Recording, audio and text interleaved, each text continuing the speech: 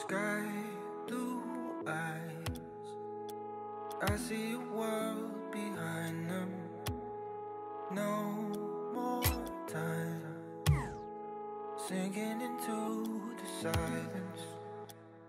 Reaching out for some